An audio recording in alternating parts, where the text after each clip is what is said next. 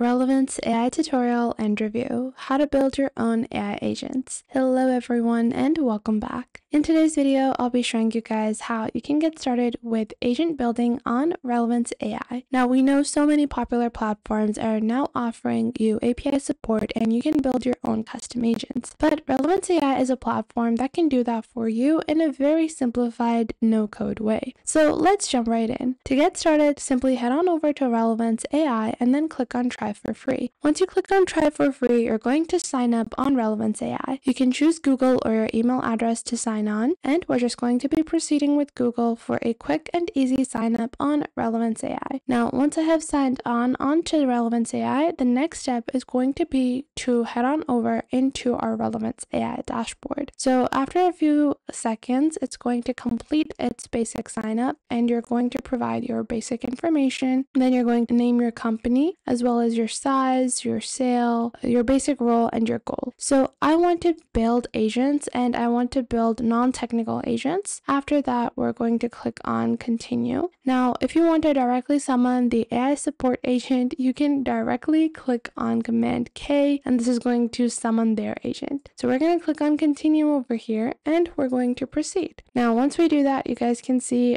this is a very straightforward platform. Starting off, you're going to describe what you wanted to do. Now, for me personally, I want to build an agent that is going to serve as a communication tool for my potential customers. So, or I want my agent to communicate with my customers that visit my website and suggest services and items to them. And then below that, they do have some suggested outputs that you can select from. So I'm going to click on continue and then I'm going to choose when should your agent start working. So I can add the first trigger for my agent and you guys can see that there is a section called all triggers and you can select your specific trigger. But if you want, you can skip this step for now because this would be more relevant to me when my agent is deployed. Now, from here, you're going to drag and drop your files. This includes your company files, business information. You can import this from your website so you can directly copy and paste your website URL and it will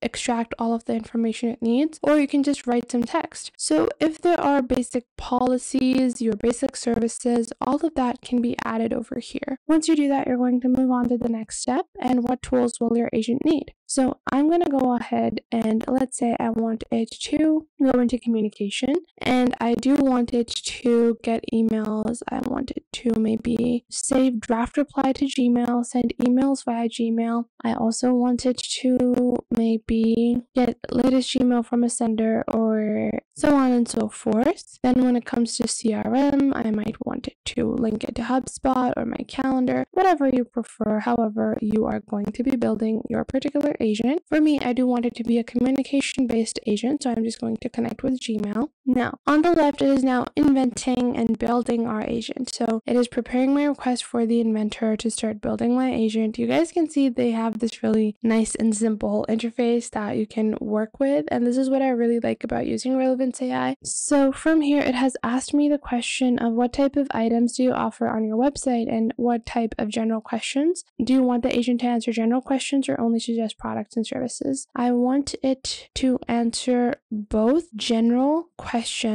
and suggest products slash services as suggestions. I offer makeup products such makeup products and makeup services, including bridal makeup, party makeup, from here, it's going to analyze my message and it is going to ask you some follow-up questions. So you can leave it be and sometimes you can even give it the prompt to ask you any follow-up questions that it finds to be necessary. So again, it's going to take a little bit of time to process your request, to analyze and understand what exactly it should be building for you. And I'm going to wait a couple of seconds for this to completely create and build with our inventor. And now once we do that, we can move on towards our next step.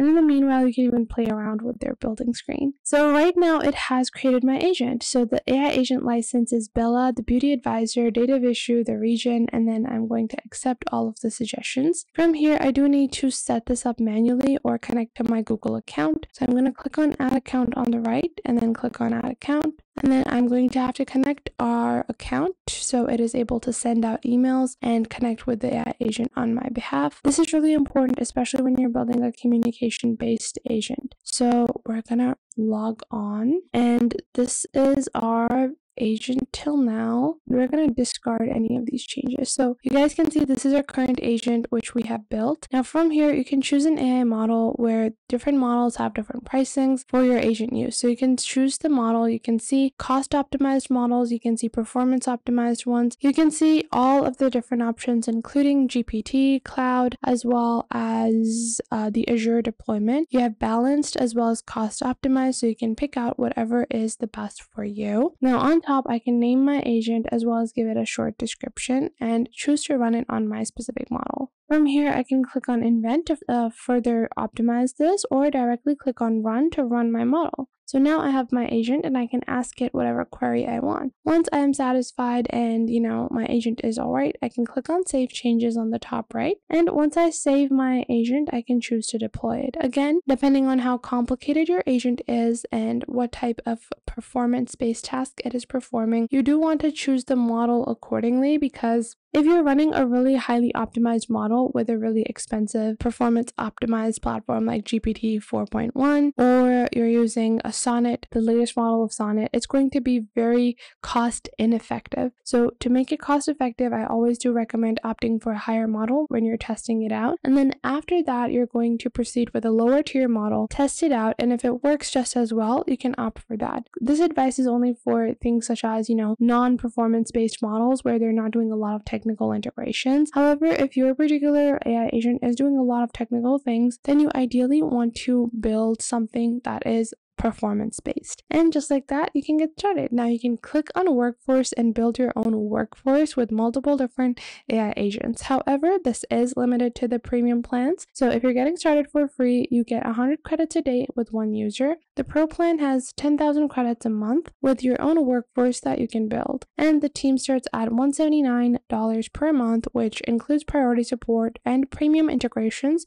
So you can build AI agents for LinkedIn, WhatsApp, and many other platforms and the business plan at 539, which includes 300,000 credits every month with unlimited users, activity centers, and you can add your own knowledge worth 5 gigabytes with a dedicated Slack channel. And make sure to subscribe to our YouTube channel and check out other videos. And if you feel like some other video might be helpful to someone else, make sure to share our videos with your friends and family as well. And if you find that there is something missing, I will try to figure out a way to integrate more accurate content according to your needs onto the channel. So make sure to tell me if you find anything missing. So that was it for today. Make sure to leave a like and subscribe to the YouTube channel and I will catch you guys in the next video.